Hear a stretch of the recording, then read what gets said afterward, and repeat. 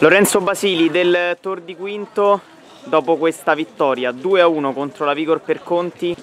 allora una partita molto scorbutica si sapeva insomma è uno scontro che poi è sempre stato importante a livello regionale sì. siete riusciti a spuntarla è soddisfatto? Sì sì intanto buonasera mi scuso per la voce ma ho finita nell'incontro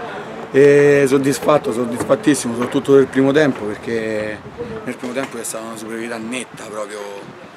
eh, peccato per gli ultimi metri sotto porta perché dovevamo chiudere il primo tempo con un vantaggio superiore non solo di un gol che naturalmente permetteva di giocare il secondo con un po' più di calma. Invece è iniziato il secondo dopo un po' il rigore poi c'è stato un po' di nervosismo però noi la partita era stata preparata bene eravamo preparati ad affrontare una partita del genere, siamo preparati a affrontare partite così fisiche, partite così nervose, abbiamo giocatori che comunque qualcuno ha già fatto questo campionato come Pellegrini o De Iulis o Maestrelli, comunque l'altro anno con il 2002, quindi gente che anche alla loro piccola età si possa definire esperta. E, però bella partita, bellissima, bella vittoria soprattutto. Ecco mister, nel secondo tempo forse vi siete un po' sfaldati, ha iniziato meglio la Vigor per Conti, poi cos'è successo? Siete riusciti a ritornare sul pezzo subito e poi a portare a casa la vittoria? No sì, abbiamo iniziato il secondo tempo, ma nemmeno sottotono perché avevamo iniziato bene, poi c'è stata l'azione quella del, del rigore con il giocatore loro che è andato bene via in mezzo a due, lì naturalmente sull'individualità fatto corale, quindi di squadra che ne è un po' meno perché ha fatto una super giocata, è passato in mezzo a due persone e si è guadagnato il rigore.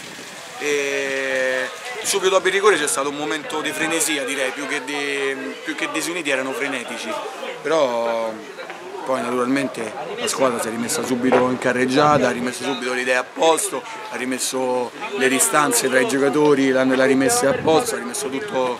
nella norma e piano piano si è continuato a macinare il gioco e naturalmente poi si è arrivati al 2-1, non poteva essere altrimenti. Ecco, al di là del, della prima giornata, la sconfitta con la Loligiani che un po' fa storia a sé per come è arrivata, le assenze e tutto, avete fatto un percorso netto. Adesso insomma puntate a rimanerci in non in vetta però insomma nelle zone sì, alte. ma noi, noi, puntiamo sempre con tutte le squadre, puntiamo sempre a arrivare in vetta, quindi il percorso loro è stato la prima giornata, abbiamo fatto una buona partita, no, le assenze, le assenze non contano niente perché una squadra ce l'ha da 25, noi siamo 30, quindi le assenze sono sono irrilevanti perché se no non tieni 30 giocatori, te ne tieni 14 e quando prendi sei le assenze allora lì ne contano, con 30 giocatori le assenze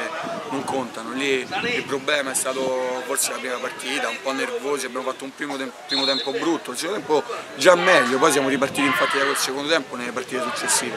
Poi sono contento per il ritorno del proposto, dopo l'infortunio, ci si è rotto la clavicola in,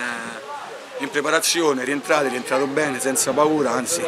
direi che la paura proprio non ce l'ha mai avuta e ha dimostrato sia prendendo il rigore alla fine che con la rovesciata prima di valersi il posto.